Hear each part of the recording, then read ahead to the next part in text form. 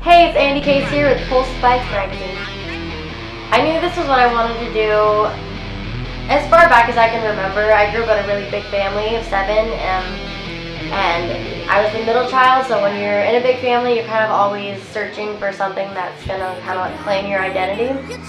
And the first time I ever sang in front of anybody was my first year of public school in fifth grade. And I think after that, I sang for the talent show and I ended up getting such a positive response that um, it kind of just drove me. It kind of let me know it was like, hey, I didn't totally suck. I could actually do this. So um, it kind of gave me hope. And I think after that was like, since it was like all I wanted to do, I was like, okay, well that's it. I'm gonna do this for the rest of my life, and there's no holding back.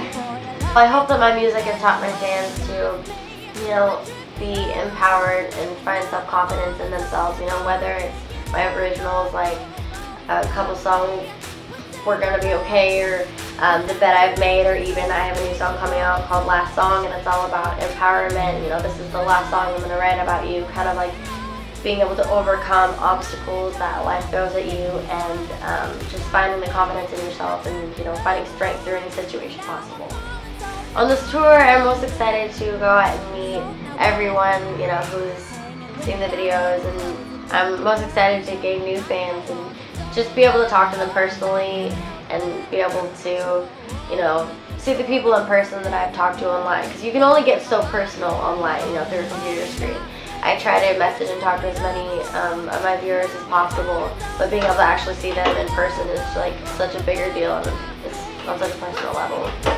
Throughout the years, my music has evolved a lot. I think just from starting out with doing like acoustic covers and not really like putting myself in a category, it's kind of given me a chance to evolve as an artist and kind of figure out what style I like.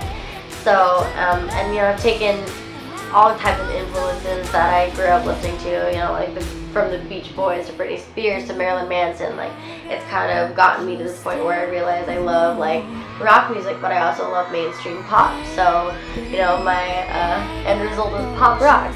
So I'm super happy about it.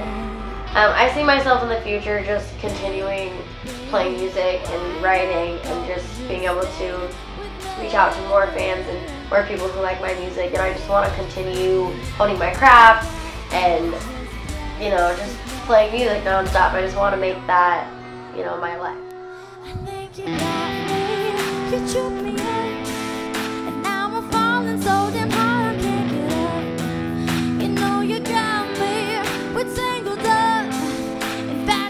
patience, so we're